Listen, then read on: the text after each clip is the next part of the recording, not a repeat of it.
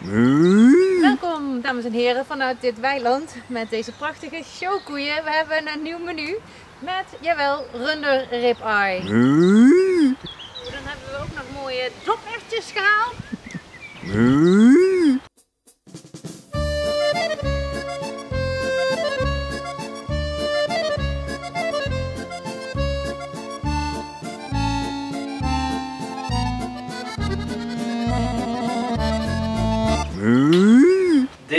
Op het menu rib eye. Hè? Die hebben we al een keer gehad. Ja, die hebben we al een keer gehad in ons menu. Maar ja, dat hebben jullie op het filmpje net kunnen zien. Eh, ze zijn in het seizoen. Net als de dopertjes die erbij zitten. Eh, de peultjes en de kanterellen. Eh, verder hebben we jus met lavas en een klein beetje citroen. Dus jullie mogen zelf kiezen. Grillen, bakken of roosteren. Dat gaan wij vandaag doen op deze prachtige bakplaat. Die hebben we nog nooit gebruikt. Dus eh, geroosterde ribeye met kanterellen, peultjes, doperten, jus met lavas en coffee rub. Eh, coffee rub is een samenstelling van verschillende specerijen die wij zelf eh, gemengd hebben en geroosterd en gemalen. We gaan beginnen. Of Oké. jij gaat beginnen. Oh ja, ik ging het doen. Oké, proost. Oh ja, proost. Dus we beginnen stap 1 met een pan water op het vuur te zetten. Die moet tegen het kookpunt aan, maar niet koken. En dan hangen we een zakje doperwtenpuree in. Check. Oké. Doen we de jus in een klein pan- pannetje. Jeroen heeft het al even voor mij gedaan. Check. En dan ga ik nu de kanterellen bakken. En daarvoor hebben we een ehm heet pan nodig. Staat die al aan? Ja. Oh, die staat ook al aan. Check. En eh, daar gaat een beetje neutrale olie in. En dan doen we dus de, de in. Je kan niet streng genoeg zijn voor kanterellen.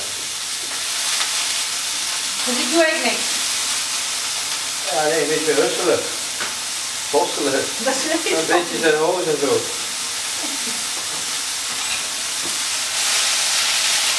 Je moet nooit bang zijn met bakken. Producten zien aan jou als je bang bent. Ben ik bang?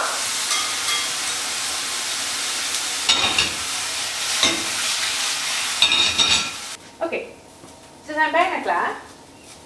Dan ga ik ze afblussen met een klein klontje boter.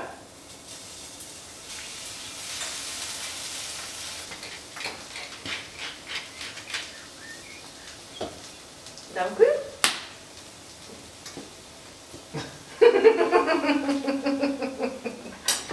Klaar.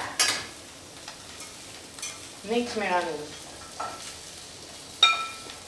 We hebben de doperwtenpuree in de pan zitten. De jus die pruttelt heel zachtjes. De kanterellen zijn gebakken. De groenten voor eh, dadelijk staan alvast klaar. Want we gaan nu het vlees bakken.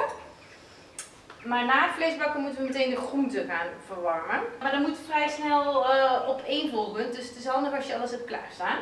Oké, we gaan dus het vlees beraden op deze grillplaat. Hoe noem je dit? Grillplaat?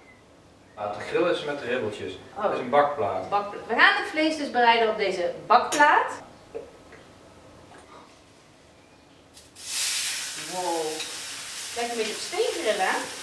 Ja, maar dat is anders. Oh, dit gaat heel omdraaien, hè?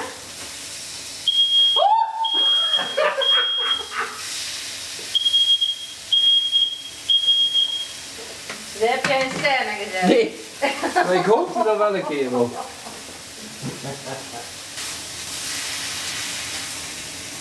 Gaat het super? Misschien wel de beste bakplaat ooit. Blakplaat, plakplaat. Wow! It's amazing! Ik hou het vlees wel even in de gaten. Schat. Schat. Ondertussen doe ik even de boontjes en de pultjes in de pan. Ik doe een klontje boter erbij. Even door de boter halen. Mm, dan leg ik hem hier even neer om hem te laten rusten. Trek de temperatuur goed door. En dan kan het vlees even ontspannen voordat het eraan gaat. Het vlees wrijven we even in met de rub.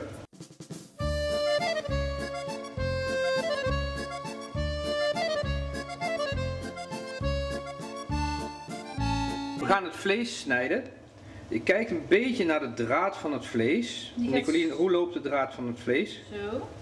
Zo loopt de draad, dan ga je daar een beetje haaks op snijden. Maar je zorgt ook ervoor dat iedereen een stukje vet heeft. En zo stukjes? Ja. En dan niet zo zagen, maar snijden. Ja.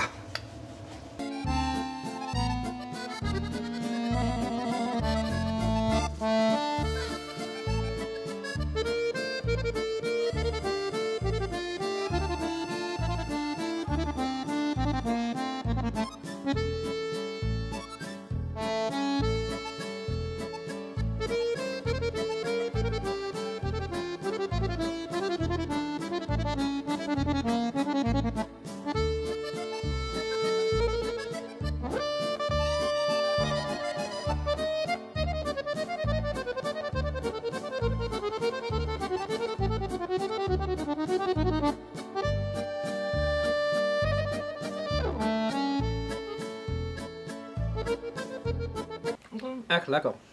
En? Lekker, echt zo. Dat bedoelde je niet.